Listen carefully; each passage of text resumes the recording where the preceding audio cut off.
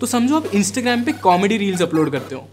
पर ये तो आपका छोटा सा पार्ट है। आप स्टैंड अप कॉमेडी शोज़ भी करते हो। और क्योंकि आपको खाने का शौक है, आप यूट्यूब पर कुकिंग वीडियोस भी बनाते हो। जब भी दुविधा में हो तो एक्स्ट्रा नमक डालो।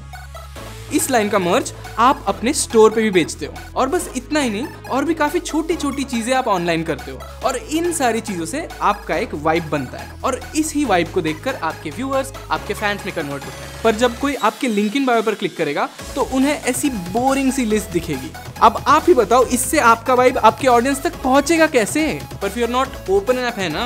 ओपन ऐप वाइब के साथ अपने लिंक सही तरीके से शोकेस करो और अपना वाइब अपने फैंस तक पहुंचाओ। इसको सेटअप करना काफ़ी आसान है। अपना यूज़र नेम चेक करो अपना नाम टाइप करो और आपका अगर कोई लोगो वगैरह है तो वो डालो। आपको अपना यूट्यूब हाईलाइट करना है या मर्च शो ऑफ़ करना है या कॉमेडी शोज़ बुक करवाने हैं जैसे आपको चाहिए वैसे आप अपना वाइब पेज कस्टमाइज कर लो और जो लिंक्स आपको शोकेस करने हैं वो उसमें डाल दो। पर ये बस आपके इंपॉर्टेंट लिंक्स कैरी करने वाला पेज नहीं है। ये आपका वाइब कैरी करने वाला पेज है। तो जब इसको आप अपने लिंक इन बायो में डालोगे तो आपके फैंस को आपका as a comedian as a foodie as a chef as a human being एक छोटा सा ट्रेलर मिलेगा। और ये सारे लिंक स्मार्ट लिंक्स हैं, जिसका मतलब है कि ये इंस्टाग्राम के इन ऐप ब्राउज़र में नहीं खुलेंगे, पर सही ऐप या डिफ़ॉल्ट ब्राउज़र में खुलेंगे। जिसका मतलब है इन ऐप ब्राउज़र के बुरे एक्सपीरियंस से तंग आकर लोग वापस इंस्टाग्राम स्क्रॉल करने नहीं जाएँगे, पर आपके कंटेंट के साथ मीनिंगफुली इंटरेक्ट करेंगे। तो अब देर किस बात की?